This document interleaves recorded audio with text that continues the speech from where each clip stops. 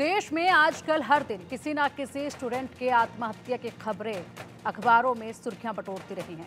यूँ तो राजस्थान का कोटा शहर स्टूडेंट्स की आत्महत्या को लेकर काफ़ी बदनाम है, लेकिन आंकड़े कुछ और ही बताते हैं। एक नई रिपोर्ट के मुताबिक राजस्थान नहीं, बल्कि महाराष्ट्र से विद्यार्थियों की आत्महत्या की खबरें सबसे ज़्यादा आ रही हैं।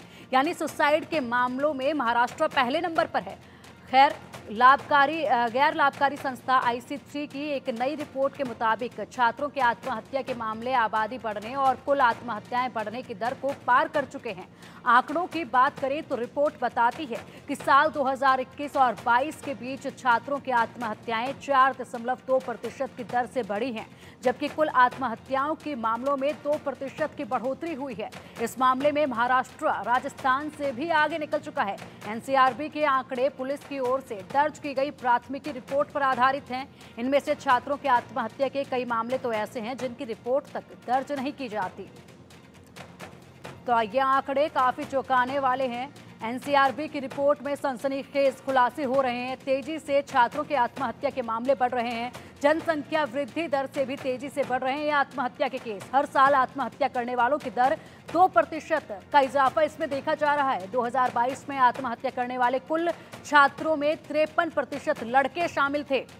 2021-2022 में छात्रों की आत्महत्या में 6 प्रतिशत की कमी आई। महाराष्ट्र, तमिलनाडु, मध्य प्रदेश में सबसे ज़्यादा आत्महत्या के केस सामने आए। राजस्थान का कोटा आत्महत्या के मामले में दसवें नंबर पर है। हालाँकि राजस्थान के कोटा को काफ़ी बदनाम माना गया था इस चीज़ में कि ये आत्महत्याएँ छात्रों की सबसे ज़्यादा वहीं होती हैं, क्योंकि कोचिंग हब रहा है राजस्थान का कोटा।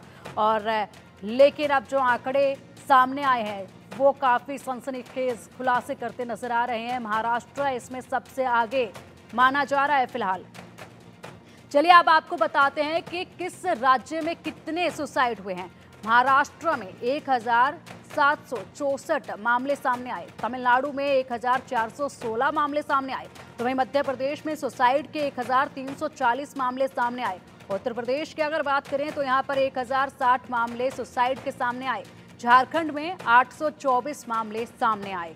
सोचिए जरा ये आंकड़े, जहाँ पर छात्रों ने आत्महत्या की है और ये आंकड़े काफ़ी हैरान कर देने वाले हैं। महाराष्ट्र में इसमें सबसे ऊपर बताया जा रहा है और ये दर जो है वो लगातार बढ़ती जा रही है।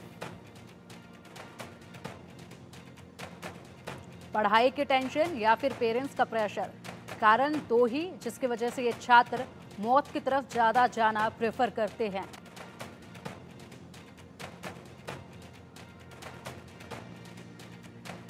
बुलेटिन में अब वक्त तो चला एक छोटे से ब्रेक का, खबरों का सिलसिला लगातार जारी रहेगा। आप देखते रहिए इंडिया न्यूज़।